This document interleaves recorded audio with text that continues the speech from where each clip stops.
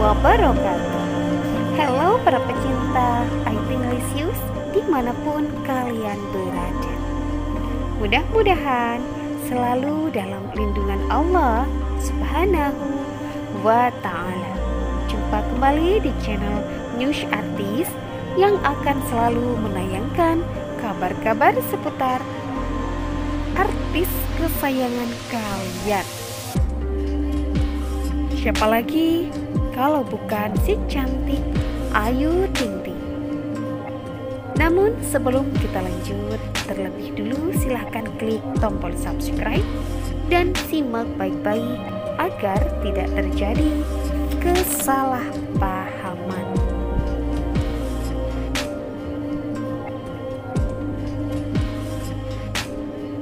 Kecantikannya disebut Abdul Razak cuma pakai air wudhu. Ayu Ting Ting bikin shock gegara dulu berhasil bersaing dengan Rose Blackpink jadi nominasi wanita tercantik. Pada sekitaran tahun 2019 silam, nama Ayu Ting Ting masuk nominasi wanita tercantik di dunia versi TC Keteler yang membuat publik heboh. Bagaimana tidak? Sang biduan ternyata berhasil menggeser banyak nama artis tanah air yang juga masuk daftar tersebut seperti Luna Maya hingga Nagita Slavina. Sontak saja hal tersebut membuat nama Ayu makin banyak jadi bahan perbincangan.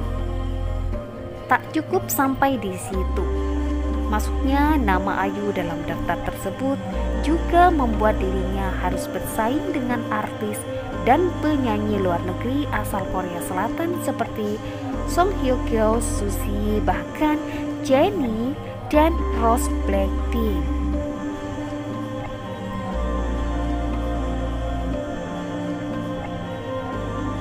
Ayu Ting Ting yang ditanyai wartawan menyikapinya dengan santai.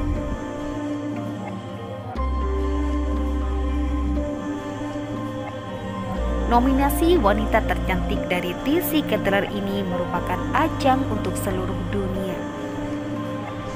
Ayu Ting Ting harus bersaing dengan berbagai wanita cantik di seluruh dunia lainnya.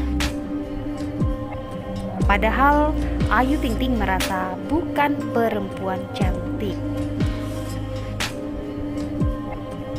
Cara merawat kecantikannya pakai air wudhu, banyak doa, sabar dan tawakal, ujar Ayu Ting Ting.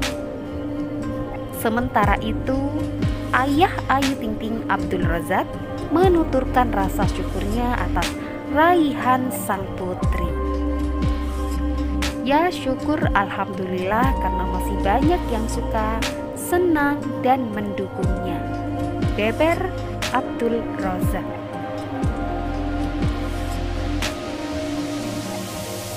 Alhamdulillah Gak nyangka ayah juga subhanallah ya Allah Ucap Abdul Razak bahkan mengucapkan rasa syukurnya kepada Tuhan Yang Maha Esa dan tak menyangka bahwa sang putri bisa masuk nominasi wanita tercantik di dunia.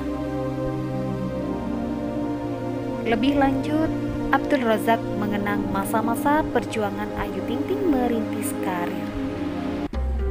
Kita itu benar-benar orang kampung merintis dari nol sampai sekarang. Karirnya sukses dan banyak fansnya, ayah pun bersyukur.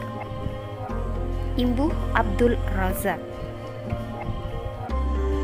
Abdul Razak memaparkan sang keluarga selalu mendukung dan mendoakan setiap langkah yang diambil Ayu